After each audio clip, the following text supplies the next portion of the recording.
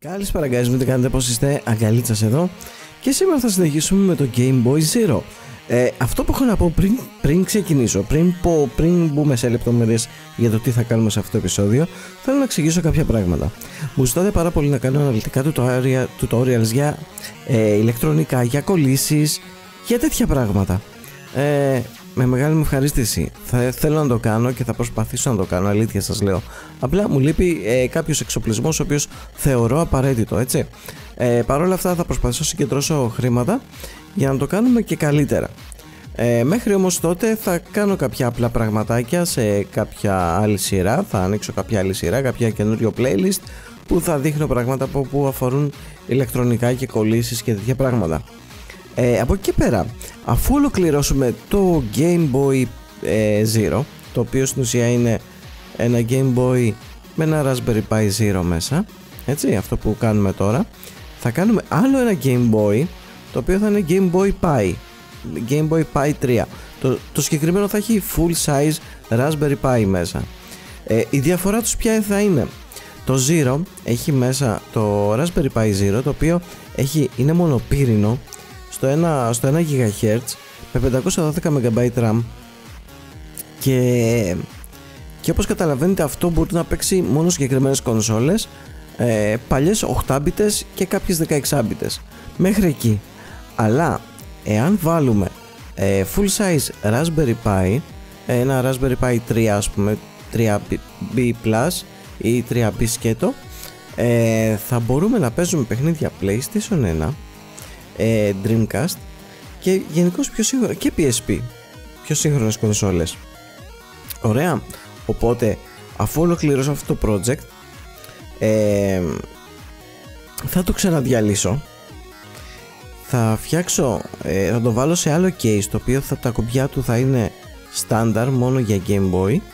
Ε, δεν θα έχει ούτε τα triggers από πίσω δεν θα έχει ούτε το joystick και θα είναι μόνο για τις απλές τις 8 bits και τις 16 bits κονσόλες και το καινούριο που θα φτιάξουμε θα έχει και το joystick για το PSP θα έχει και τα trigger button από πίσω τα οποία θα μας βοηθήσουν για το PlayStation 1 Games. Ωραία. Ωραία. Νομίζω το έβγαλα από τη μέση.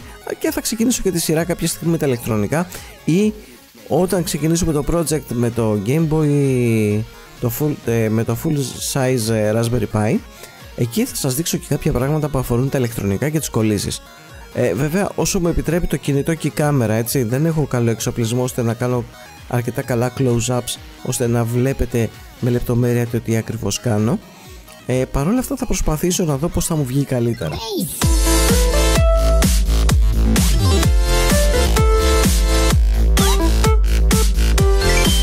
Αλλά πριν ξεκινήσουμε και μπούμε στη συνέχεια το build που σήμερα στην ουσία θα ε, είναι το πρώτο τελευταίο μέρος του build ε, θέλω τώρα να πάτε όλοι από κάτω και να πατήσετε like στο βίντεο να μου γράψετε τα comments σας μέχρι στιγμής πώς σας φαίνεται το project αν θέλετε να συνεχίσουμε τέτοιου είδους σειρές και ε, ό,τι απορίες έχετε θέλω να μου τις γράψετε τώρα από κάτω. Επίσης, όσοι είστε καινούργοι στο κανάλι, θα ήθελα πάρα πολύ να πατήσετε subscribe ώστε να ενημερώσετε για τα καινούργια μας βίντεο. Και όλοι παλιοί και καινούργοι τώρα πατήστε το notification button ώστε που είναι αυτό το καμπανάκι που βρίσκεται ακριβώς δίπλα από το subscribe για να ενημερώνεστε για τα καινούργια μας βίντεο. Ωραία, αλλιώς το YouTube δεν θα σας, θα σας αγνοήσει και δεν θα σας βγάζει τα βίντεο στην, στο subscribe box σας. Αυτά. Πάμε στο build λοιπόν. Πάμε να ξεκινήσουμε λοιπόν και το πρώτο που θα κάνουμε σήμερα είναι να κολλήσουμε τα απαραίτητα καλώδια στο Power Booster ώστε μέσα από τα 2-3 καλώδια αυτά θα λειτουργήσει το σύστημά μας. Στην ουσία τα δύο καλώδια πρέπει να ακολουθούν είναι ένα αυτό που βλέπετε το κίτρινο καλώδιο το οποίο θα αναλάβει να συνδεθεί στο switch σε ένα διακόπτη ο οποίος θα ενεργοποιεί και θα απενεργοποιεί το Power Booster που στην ουσία το Power Booster είναι αυτό που θα τροφοδοτεί τη συσκευή μας έτσι. Στην ουσία το Power Booster είναι μια συσκευή η οποία από τη μία πλευρά συνδέεται την μπαταρία. Η μπαταρία 3,7 V μπορεί να είναι από 3,7 V η μπαταρία μέχρι 4,2 αυτό λοιπόν το Power Booster τι κάνει; Αυτό μετατρέπει το, τα 3,7 V της μπαταρίας σε 5 V σταθερά 5, 5,2 εκεί ε, σταθερό ρεύμα ώστε το κάνει boost up ώστε να μπορεί να λειτουργήσει η συσκευή μας. Και δίνει σταθερά και ένα μέχρι ένα αμπέρ μπορεί να τροφοδοτήσει εύκολα δηλαδή το Raspberry Pi, ε, Raspberry Pi Zero την πλακέτα με τα buttons και το πώς θα λένε και την οθόνη μας. Έτσι εδώ έχω κολλήσει το πρώτο καλώδιο. Βλέπετε το power booster πως είναι. Από πάνω υπάρχει ένα βίσμα στο οποίο θα κουμπώσει μπαταρία και θα κάνει convert τα 3,7 ε, V της μπαταρίας.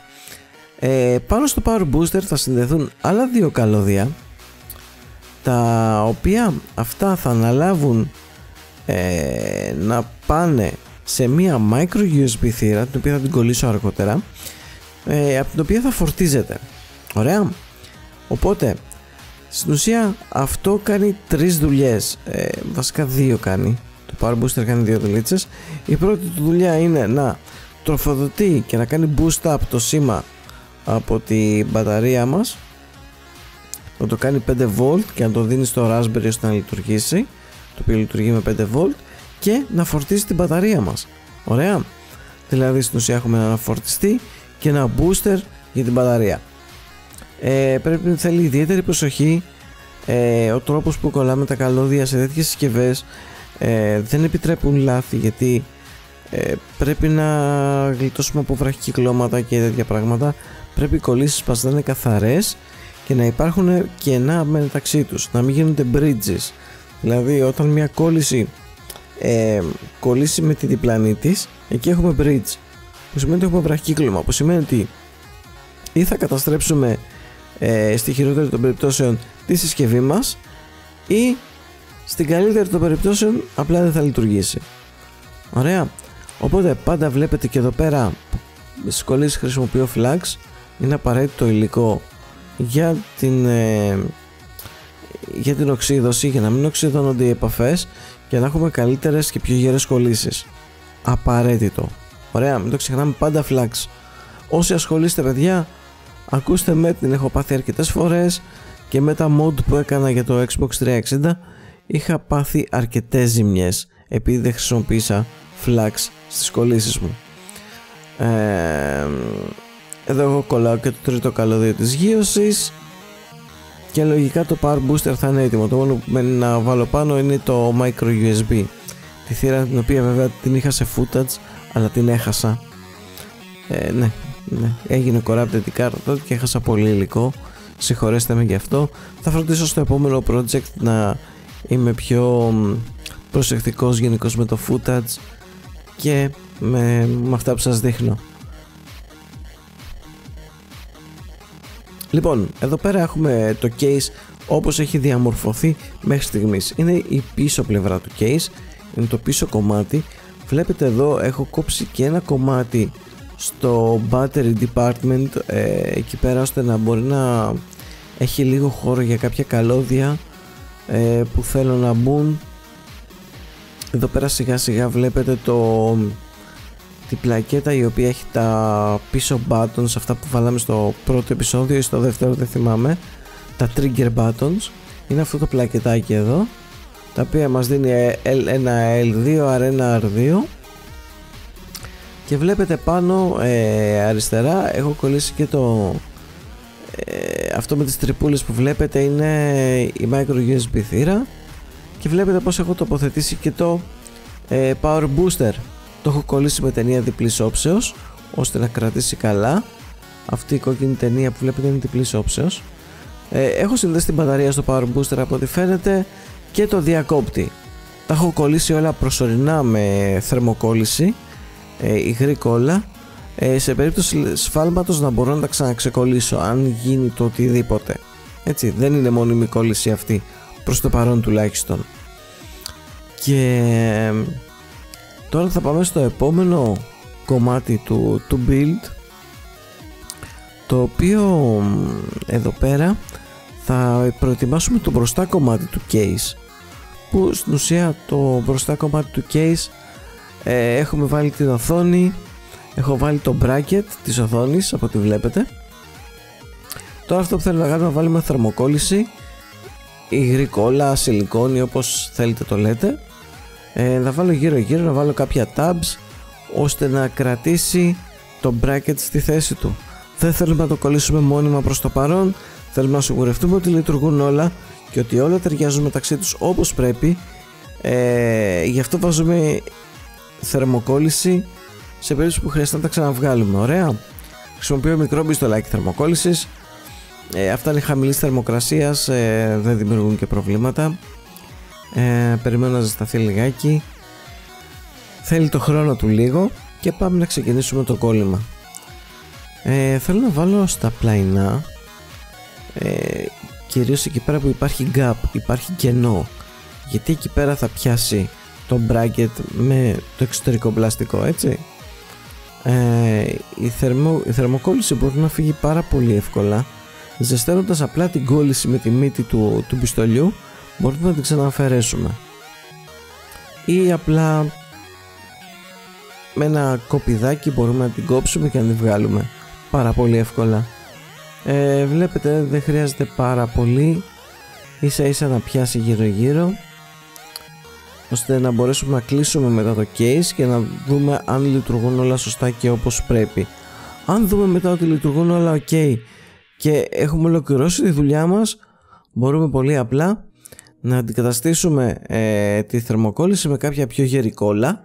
Ε, θα προτιμήσω εποξική κόλλα δύο συστατικών όταν θα το ολοκληρώσω η οποία κάνει μια πιο μόνιμη ε, δουλειά. Ωραία πρέπει να σιγουρευτούμε ότι έχει κολλήσει καλά. Θέλει λίγο χρόνο για να κολλήσει καλά αυτό το πράγμα. Το φυσάμε λιγάκι. Ίσα ίσα για να στεγνώσει. Και εδώ πέρα τώρα θα τοποθετήσουμε και το driver της οθόνης. Είναι η πλακετούλα της οθόνης. Την είδαμε στο πρώτο επεισόδιο στη λίστα με τα υλικά. Σας έδειξα πως είναι. Έχω βάλει από πίσω στην πλάτη του board έχω βάλει ταινία διπλής όψεως από ό,τι βλέπετε η οποία είναι πάρα πολύ ισχυρή. Ε, εκεί πέρα δεν με πειράζει. Ξέρω πως ε, θα βγει οπότε έβαλα κάτι πιο μόνιμο. Είναι αρκετά ισχυρή ταινία διπλής όψεως η οποία θα κρατήσει σίγουρα το board αυτό στη θέση του. Δεν θέλουμε να μετακινηθεί δεν θέλουμε τα ηλεκτρονικά μέρη της συσκευής να μετακινηθούν γιατί μπορεί να προκληθεί ζημιά. Ωραία. Οπότε ε, τα ηλεκτρονικά μας προσπαθούμε να τα στερεώσουμε όσο καλύτερα γίνεται. Γιατί τώρα παράδειγμα αν ξεκολλήσει το board και πάει και ακουμπήσει πάνω στο power booster τα έκαψε όλα. Είναι κάτι που δεν το θέλουμε. Οπότε για να εγώ να έχω διπλή προστασία εδώ χρησιμοποιώ ένα υλικό που λέγεται Captain Tape. Ε, είναι αυτή μια κίτρινη χρυσοκίτρινη ε, διάφανη ταινία η οποία παρέχει θερμομόνωση και παρέχει και ε, μόνωση από τον ηλεκτρισμό. Στον ουσία έχουμε δύο ε, καλά μόνο ένα υλικό το οποίο κάνει δύο δουλειές. Έτσι, Captain Tape λέγεται, να το έχετε στο μυαλό σας. θα προφυλάξει το board της οθόνης να μην ζεσταίνεται από το Raspberry που θα υπάρχει ακριβώς μπροστά του και από το Power Booster. Ωραία. Το board της οθόνης γενικώς δεν ζεσταίνεται καθόλου. Τα μόνα πράγματα που ζεσταίνονται μέσα στη συσκευή μας είναι το Power Booster που αναλαμβάνει όλη την τροφοδοσία και το Raspberry που λογικό είναι, έχει CPU πάνω, έχει GPU πάνω. Είναι λογικό να ζεσταίνεται έτσι. Βλέπετε πως είναι αυτό υλικό. Προσπαθώ να περάσω πολλά στρώματα ταινίας. Το ένα κατά από το άλλο να καλύψω όλο το board και να προφυλάξω και την καλωδιοτενία έχω βάλει και στην καλωδιοτενία πάνω. Δεν θέλω να έρθει σε επαφή με υψηλή θερμοκρασία γιατί μπορεί να την καταστρέψει. Ωραία. Και από ό,τι βλέπετε ολοκληρώθηκε και αυτή η φάση. Ε, έχει κολλήσει καλά και το μπορντάκι. Ε, εδώ πέρα θέλω να στερεώσω λίγο καλύτερα το... ναι την καλή ταινία ώστε να πατήσει καλά. Και θα σας το δείξω και σε κοντινό να, δει, να δείτε πως, πως έγινε πως έχει ε, εξελιχθεί το πράγμα. Θα το δούμε και σε λίγο σε, σε κοντινό πλάνο. Ε, ναι εδώ πέρα πρέπει να σιγουρευτώ ότι στις γωνίες έχει πιάσει καλά. Ε, και εδώ πέρα έχω κάνει ένα τεστ. Έχω βάλει το, το board που είναι με τα buttons το έχω ήδη τοποθετήσει και κάνω ένα τεστ να δω αν είναι όλα καλά μεταξύ τους. Ε, κάνω, έκανα δοκιμές είχα συνδέσει την οθόνη πάνω στο board να δω αν ανάβει η οθόνη να δω αν παίρνει ρεύμα η οθόνη. Ήθελα να σιγουρευτώ ότι όλα λειτουργούν πριν συνεχίσω. Κάθε βήμα που κάνω σιγουρεύουμε ότι λειτουργούν αυτά που συνδέω πάνω. Παιδιά ε, είναι μεγάλη διαδικασία να φτιάξει κάτι τέτοιο και θέλει απαιτεί χρόνο και αρκετή προσοχή. Και ε, επειδή έχεις να κάνεις με ηλεκτρονικά πρέπει να είσαι ιδιαίτερα προσεκτικός μην κάψεις τίποτα. Ωραία. Το κολλητήρι που χρησιμοποιώ είναι, είναι στα 60 W περίπου. Όχι ψέματα σας είπα είναι 35 W και μπορεί να ανεβάσει θερμοκρασία μέχρι 290 με 310 βαθμούς ανάλογα το περιβάλλον. Ωραία. Θέλω να πάρω κάποια στιγμή ένα σταθμό κόλλησης θα μου κάνει πολύ καλύτερα τη δουλειά μου και πιο εύκολα. Εδώ πέρα κολλάω ε, τις τροφοδοσίες από την οθόνη δηλαδή την οθόνη τροφοδοσία της οθόνης συνδέω πάνω στο board και καθώς συνδέω και το ε, κουμπάκι το αυτό που θα αναλάβει την αυξομοίωση της έντασης του ήχου. Στην ουσία είναι ένα αποτεσιόμετρο ε, το μοντέλο του είναι B103 είναι με 5 επαφές οι οποίες είναι για δύο κανάλια ήχου και μία γύρωση είναι στα 10 kΩ αντίσταση. Ε, και είναι λίγο ζόρι να το κολλήσεις αυτό το πράγμα. Το μεταξύ βλέπετε αυτό που σας λέω. Τώρα αν είχα μία κάμερα της προκοπής θα την είχα βάλει πάνω σε ένα γερανάκι και θα βλέπατε πλάνο από πάνω που θα τα έκανα αυτά. Ή αν είχα κάποιο ηλεκτρονικό μικροσκόπιο θα τα βλέπατε λίγο καλύτερα. Και εδώ πέρα βλέπετε πως έχει ολοκληρωθεί το build μας. Ε, βλέπετε μέχρι στιγμής έχει μπει η, το, board, το board. Έτσι αυτό το board έχει πάνω ε, έναν ενισχυτή για τον ήχο μας. Έχει audio jack. Έχει ένα low pass high pass filter. Έχει τις απαραίτητες συνδέσεις ώστε να συνδέσουμε πάνω το Raspberry Pi την οθόνη μας το ποντεσιόμετρο για τον ήχο έχει πάνω το Arduino το οποίο αναλαμβάνει να, τα controls. Ωραία. Και ε, έχει και τις διάφορες επαφές για να κουμπώσει πάνω το Power Booster και να τροφοδοτήσει τις υπόλοιπες συσκευές. και ε, πιο πάνω τώρα θα δούμε ότι η οθόνη θα δείτε που είναι καλυμμένη με Capton Tape και το πορτάκι μας ώστε να είναι προστατευμένο από θερμοκρασίες και διάφορες ε, ε, μην ακουμπήσει με τίποτα άλλο και, προκαλ, και προκληθεί βραχύκλωμα στη συσκευή μας. Και επειδή χρησιμοποιούμε μπαταρία ε, πολυμερίων ε, λιθίου πρέπει να είμαστε ιδιαίτερα προσεκτικοί γιατί είναι ιδιαίτερα έφλεκτες και δεν πρέπει να το ρισκάρουμε. Ωραία βλέπετε εδώ έχω κουμπώσει το Raspberry. Το έχω καλύψει και αυτό με Captain Tape από την πίσω πλευρά ώστε να μην έρθει σε επαφή με κάτι άλλο. Ε, και πιο πάνω θα δούμε θα δούμε δεν θυμάμαι αν έχω, α όχι δεν θα το δούμε εδώ. Ε, βλέπετε εδώ πέρα στο, Raspberry πάνω έχει συνδεθεί η τροφοδοσία έχει συνδεθεί το σήμα της οθόνης ε, υπήρχε footage από αυτά αλλά δυστυχώς ήταν στην κάρτα μνήμης που έγινε corrupted και το χάσαμε δυστυχώς. Σας υπόσχομαι στο επόμενο project θα είμαι ακόμη πιο προσεκτικός. Ε, και έτσι κάπως ολοκληρώσαμε και τη σημερινή κατασκευή. Και ε, θα τα πούμε στο επόμενο επεισόδιο. Φιλιά πολλά σε όλους, ακολουθήστε μας στα social media που υπάρχουν στην περιγραφή όπως facebook, instagram, twitch, ε, twitter. Έχουμε και twitter, ναι. Πατήστε like γιατί είναι σημαντικό το like σας για να ξέρω αν σας αρέσει αυτό που βλέπετε. Ωραία είναι πολύ σημαντικό να το γνωρίζω. Και subscribe όσοι είστε καινούργιοι στο κανάλι και δεν έχετε ήδη κάνει πατήστε και το notification button για να ενημερώνεστε και τα καινούργια μας βίντεο. Τα λέμε σε επόμενο επεισόδιο. Φιλιά σε όλους. Bye σας